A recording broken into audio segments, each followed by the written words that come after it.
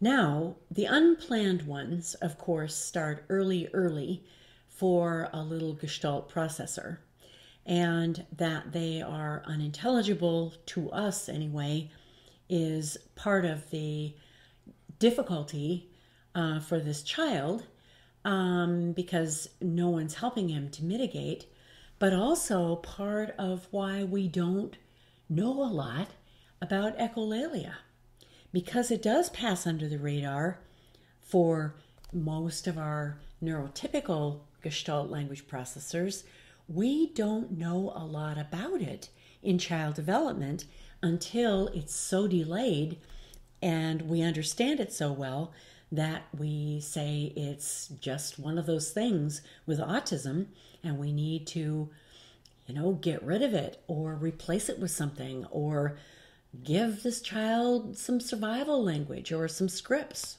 Now, for Charlie, he used the very same utterance every single time he was on top of our loft. Look, there's a hole down there. Sometimes he seemed kind of happy about it, sometimes he didn't seem kind of happy about it. So, this was what we did. To pick some language models, we had to preempt Charlie saying it because after he said it, it would be too late. So, a, a, language model, by virtue of its name and intention, matches an intention and is the language a child hears at the moment he's looking for some language. So, what did we try? Let's try the word look and see if that's something that he can mitigate out from his original gestalt. Look at that. It's cool. I want to look through the hole. I want to look, not fall. Take a look at that. Or if we wanted to isolate down there, I got to get down there. I love looking down there. It's so cool down there. It's not scary down there.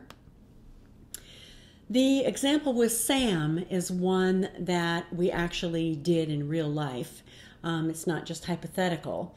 We had to preempt this particular gestalt that Sam would say every single time he wanted to move from one place to another. So we took the let's out of it and tried to preempt his saying of his gestalt and said, let's run, let's get out of here, let's find the bricks, let's all go together. And we actually took this as well. Come on, I'll race you. Come on, everybody. Jesse, come on. Hey, everybody, come on.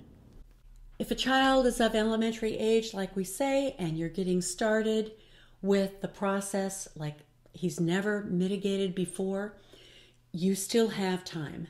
You have time to work on mitigation. And let's just say that a child never really gets to a lot of grammar. What can he do with his mitigations? He can mix and match. And that's what Temple Grandin said is that she could mix and match and express lots.